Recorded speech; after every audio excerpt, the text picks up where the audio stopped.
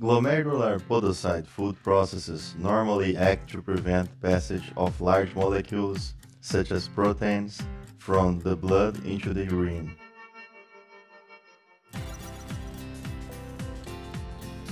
Sophia, a three-year-old previously healthy girl, is brought to her pediatrician after her mother notices a new facial puffiness.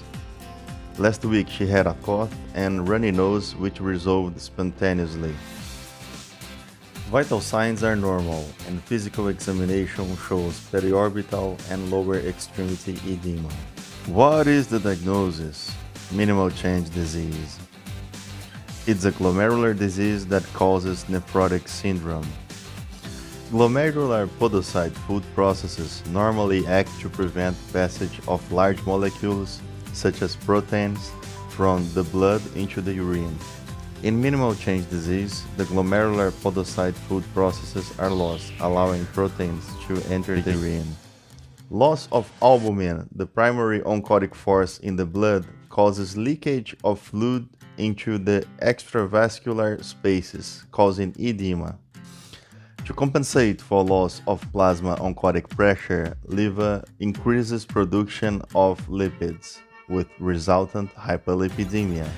The vast majority of cases of minimal change disease are idiopathic, but occasional cases are associated with Hodgkin lymphoma. What is the clinical presentation and the morphologic features? Minimal change disease causes approximately 90% of nephrotic syndrome in children in the most countries.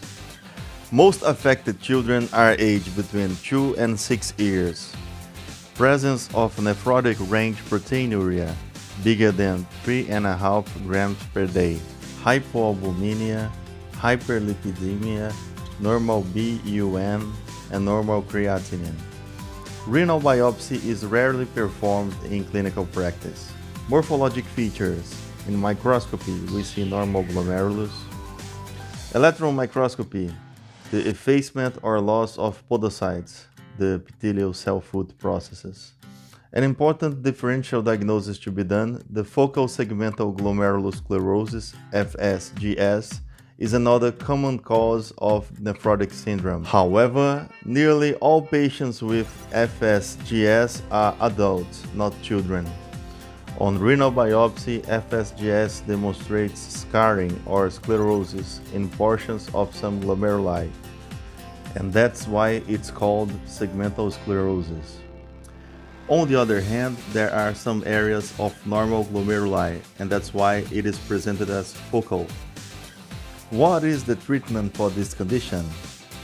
Because the majority of children with nephrotic syndrome have minimal change disease, empiric steroid therapy with prednisone is often studied, even without a renal biopsy to confirm the diagnosis. The vast majority of children have a full recovery with no long-term sequelae. This is it. This is our destiny. Again, thank you so much. If you like it, please subscribe. See you next time. Bye.